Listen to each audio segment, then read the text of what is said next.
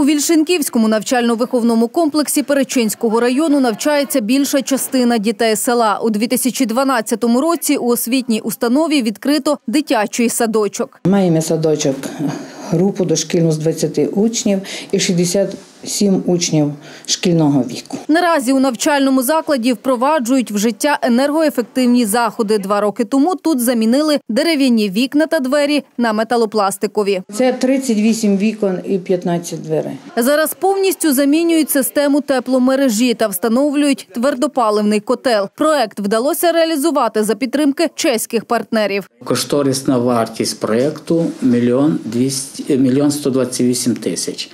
Тут іде е, тройне співфінансування.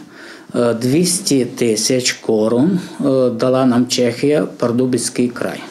Угу.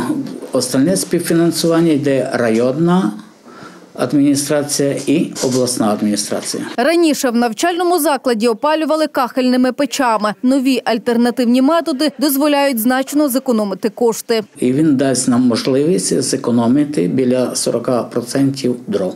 Що якщо взяти за декілька років, це, ця система опалення оправдає себе, ви- викупить себе десь приблизно через 10 років. За сезон біля 40%, то буде в нас біля 20 кубів.